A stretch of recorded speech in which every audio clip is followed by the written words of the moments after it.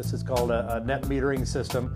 Um, actually, fairly simple, um, but you definitely need to have a, a licensed electrician to work with this because you're working with some very high, high voltage. So, here's the challenge: build a house that produces as much electricity as it uses. Net zero. To make it work, the meter needs to measure electricity coming in and going out. Net metering. It's a simple idea, but it's also far different from the way that a typical house works. We're going to look at two houses in Nebraska that are designed to be net zero. Zenith is a project acronym for Zero Net Energy Test House. The Zenith House in Omaha is a research project of the University of Nebraska. Its planning, design, and construction has engaged dozens of faculty and hundreds of students in the fields of architecture and engineering.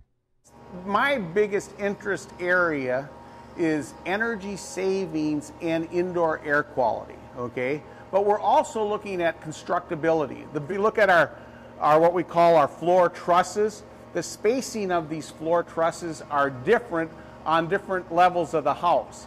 Also, how they're hung on the wall is different. If you go down the basement, you'll see on one end there will be a brick ledge. Okay, on the other end there will be a Simpson strong tie because it is a test house. Okay, and we've got a lot of different features in this house. We've got photovoltaic laminates. The noise you hear in the backgrounds are geothermal wells being born. Geothermal is heat from the earth. Geothermal based heat pumps are very efficient for heating and cooling, which is typically the largest demand for energy in a home. The geothermal is the best system out there for your house. It's the most economical system. The fact that there's no outside units there, you don't have noise pollution outside. With the two-stage technology and the variable speed motors that are available in the geothermal, it's uh, probably one of the most comfortable systems you'll you'll have in your house also. There are different approaches to geothermal. The Zenith house is using a well for the heat pump. The net zero house outside of Lincoln uses a heat exchanger that is sunk into a pond.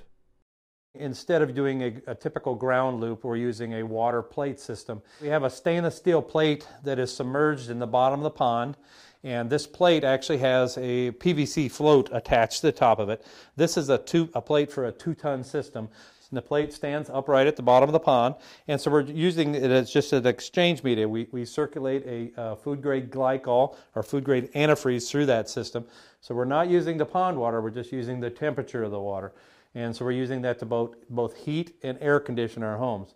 The geothermal heat exchanger can also be used to support the heating of domestic hot water.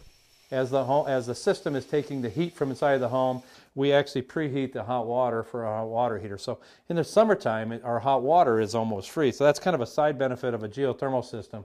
They have what they call a desuperheater in them. And especially in the summertime, when you're looking to take the heat from the house and get rid of it, dump it in the ground outside, what it does is it takes that heat and it dumps it into the hot water system for your house and essentially provides you with most of your domestic hot water in the summertime. The heating and cooling system is made even more efficient by a well insulated and tightly constructed building envelope. We did do some unique things in this home where we actually did a what's called a flash and batt insulation system. So we actually increased the insulation levels in the walls, the attics, and even underneath our slabs in the basement. So I would call this home kind of a super insulated home. So we've got insulated concrete forms around the complete basement and three quarters of the first floor. And then we got two by six frame. On the other side of that uh, frame then is inch and a half of foam with a stucco exterior. And then on the inside, we're going to have closed cell and open cell spray foam insulation. Homes that are well insulated and tightly sealed can trap stale air and moisture. To address this problem, energy recovery ventilation is required. This is what I call our lungs of our home. This is an energy recovery ventilator. It's a completely balanced system. So we're, we're, taking out of the home exactly the same amount of air that we're bringing in. Um, the two airs do not intermix.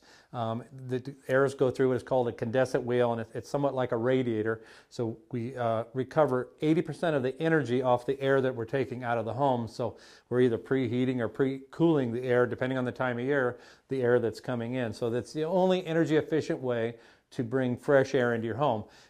Tight construction, super insulation, and energy recovery ventilation create standards of construction embraced by green building professionals.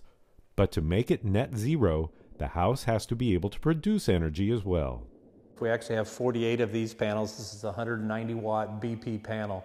Uh, the arrays are all equal groups, and the panels just pigtail and plug together. So um, it's a fairly simple system. It does require an electrician, um, somebody with some experience to, to make all of your electrical connections, because the minute these things are out in the sun, they are creating current, and, and DC current has a lot of bite to it, so you want to be very, very careful. As an energy producer that is connected to the grid, net metering is required. We would we actually go out and we'll change out the meter and put a special what we call a bidirectional meter in, which is a, uh, a meter with two registers on it.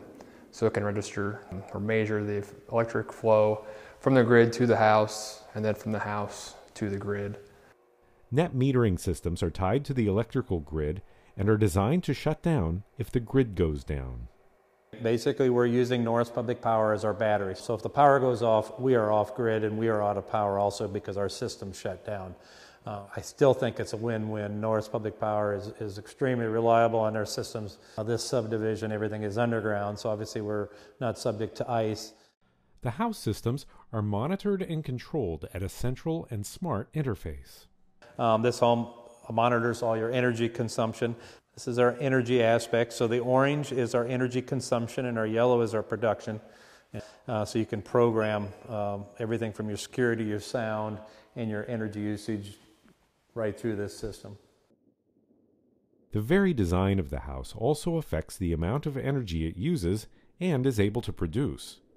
Roof pitch, house orientation, and other design issues are all considered for the impact on the comfort and efficiency of the home.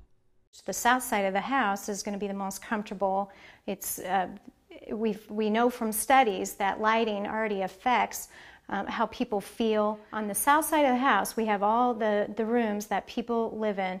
On the north side of the house, I placed all the rooms that people don't spend a lot of time in, which will be the bathroom, the laundry room. Everything's calculated as far as what the window, the sun angle would be at certain times of the year. Yeah, in this case, we, we used an overhang of two foot six, which is definitely deeper than most houses are. And, and during the hottest part of the the summer, it was almost this whole entire wall was designed to be in shadow. While you may see quite a few windows on the front of the house, there, um, there's really only three that are functional, which is the one that's uh, straight ahead of us in the master closet, and then the two one's a laundry room and one's a bath. Uh, and that's it. The rest of the windows are simply aesthetic for aesthetic reasons, and because we knew this would be facing north, we wanted to be able to uh, make the house look in scale correctly and just make it a, a beautiful house to look at. This, the house design was meant to be mainstream design so that most people would like it, but it was also meant to be a mainstream construction, um, both on the outside and the inside. So it could be replicated easily. Building a home today is a lot more complicated than it was 10 years ago. It, it's more of a systems approach to building. You have to look at all the systems and how they interact with each other and how they operate together. The net zero houses represent the leading edge in design, materials, and technology for home construction. Power companies, education institutions, government agencies, home builders, and material suppliers are all working together to learn more about making homes as safe, comfortable, and energy efficient as they possibly can. And with net metering, energy producing homes become a part of the energy grid as a new kind of customer. A customer that supplies energy as well as uses it.